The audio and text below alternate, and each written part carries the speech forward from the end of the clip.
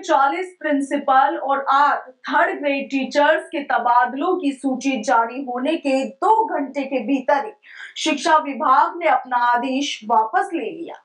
माध्यमिक शिक्षा निदेशक आशीष मोदी ने एक आदेश जारी किया था। गजब यह है कि इन 40 में से उनतालीस प्रिंसिपल दौसा ज़िले के थे और इसके अलावा आठ थर्ड ग्रेड टीचर्स के भी तबादले किए गए थे, जबकि राजस्थान में थर्ड ग्रेड टीचर्स के तबादलों पर रोक लगी हुई है। दरअसल तबादला सूची आने के बाद भाजपा नेता किरोड़ी लाल मीणा ने अपनी नाराज़गी इस पर ज़ाहिर की थी। उन्होंने शिक्षा मंत्री के नाम पर एक चिट्ठी लिखी थी।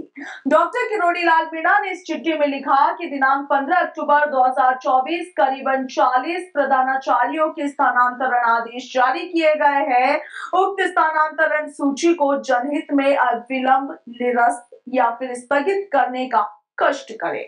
खास बात यह है कि किरोड़ी लाल मीणा ने यह पत्र कृषि मंत्री होने के नाते शिक्षा विभाग को लिखा है। माना यह जा रहा है कि तबादले हड़बड़ी में किए गए थे। आपको बता दें कि प्रारंभिक शिक्षा निदेशक सीताराम जाट ने थर्ड ग्रेड टीचर्स की तबादला सूची जारी की थी। इसके साथ ही आपको ये भी बता दें कि पिछली गहलोत सरकार ने थर्ड ग्रेड टीचर्स के तबादले के लिए 2021 में आवेदन लिए थे, मगर ये प्रक्रिया ही पूरी की पूरी ठंडी बस्ते में चली गई।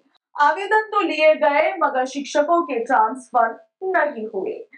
तृतीय श्रेणी के तबादले आखिरी बार वसुंधरा राज्य सरकार में हुए थे और उसके बाद से शिक्षकों का इंतज़ार बढ़ता ही जा रहा है।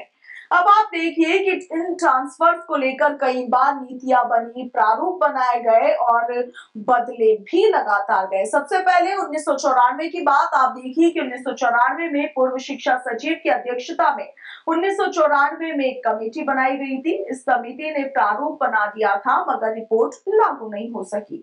उन्नीस सौ सतानवे से अठानवे में नीति लाने की कवायद हुई मगर हुआ कुछ नहीं और इस आ, साल तबादला को लेकर अलग से निर्देश ज़रूर जारी किए गए थे। 2005 में शिक्षकों के तबादलों में राहत देने के लिए दिशा निर्देश जारी हुए थे तो वहीं 2015 से 18 में तबादलों के लिए मंत्रिमंडलीय समिति के साथ साथ अन्य कमेटी बनाई गई थी, मगर प्रारूप लागू नहीं हो सका था। 2020 में जनवरी महीने में कमेटी बनी थी। कमेटी ने अगस्त में रिपोर्ट भी दी थी, मगर कैबिनेट में इसे मंजूरी नहीं मिली थी। और उसके बाद अब 2024 में तबादलों को लेकर नीति बनाने की कार्यवाही अभी भी विचाराधीन है। Bureau report, Punjab Kesari, Rajasthan.